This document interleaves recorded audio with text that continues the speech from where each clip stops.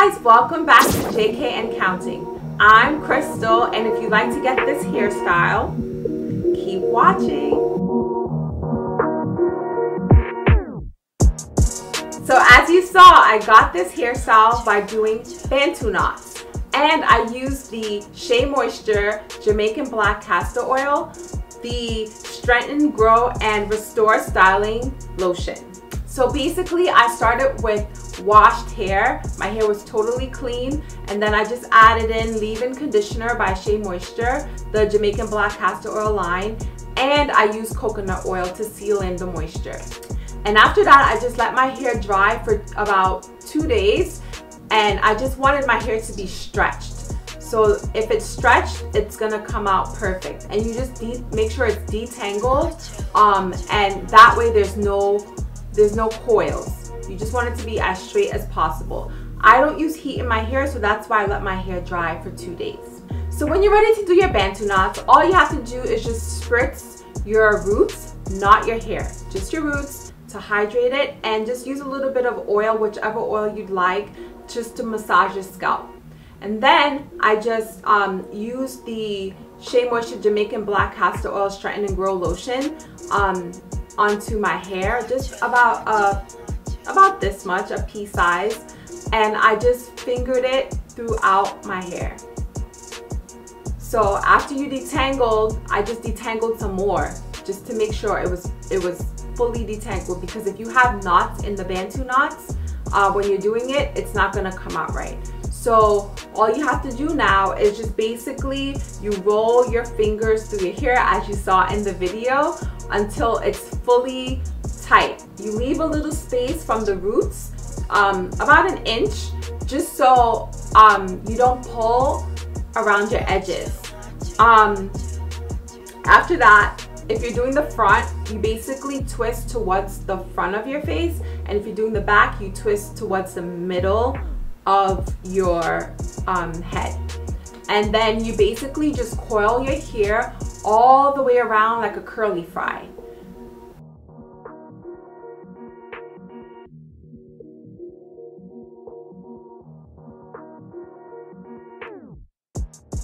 So once you have your curly fry bantu knot, you basically just, it either you wind it all the way around your knot so it stays or you can do like me and use a pin. My hair never seems to stay in the Bantu knot so I always use a, a bobby pin to just hold it into place. Um, and the reason why I use the Shea Moisture Jamaican Black Castor Oil uh, styling lotion is because it holds my hair similar to a gel but it doesn't leave it crunchy as a gel would or flaky. So right now my curls are really soft but firm.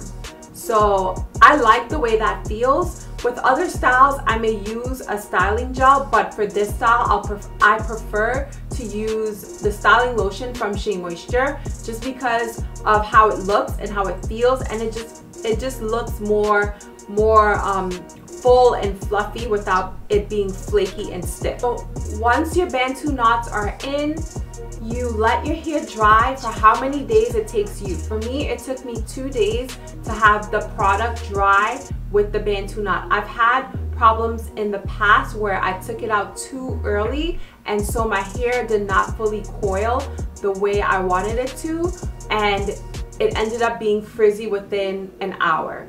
So make sure your hair is fully dry when you're ready to take out your Bantu knots. So when you take out your Bantu knots, make sure your hands have a little bit of oil, whichever oil is your preference. I use coconut oil and what you have to do is basically unscrew the Bantu knots. Take out your pins if you had, if you uh, put pins into your hair.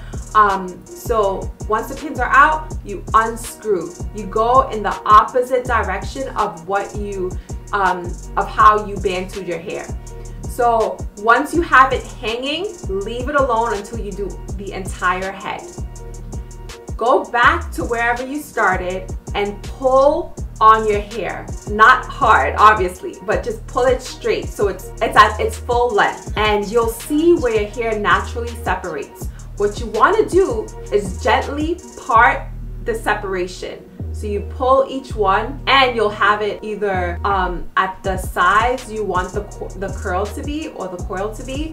Um, if not, then you just keep pulling each one that you already separated some more, right? And then you just keep doing each one and then you're done. If you like the way it looks from just those separation, you can keep it like that or you can continue on and do as I did. I basically used my fingers with some oil and fluffed my scalp and then I shook my head from side to side, front and back just to make it a little bit more fluffier because I love second day hair. So after that, um, I like to do this signature style. So all I did was just put some pins in. I just pushed it forward and put some pins in all the way around. And since I have the fade in the back, I just like to um, to show that off with this style. So if you want to continue on, you could do that style. If not, if you like the way your hair looks now, just leave it as is and rock it with your cute outfit.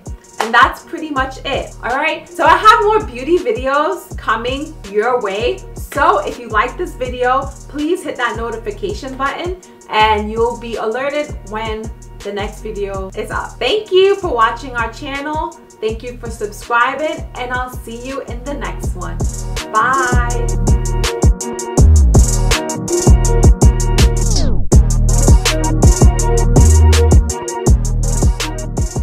If you love this hairstyle, please give this video a thumbs up.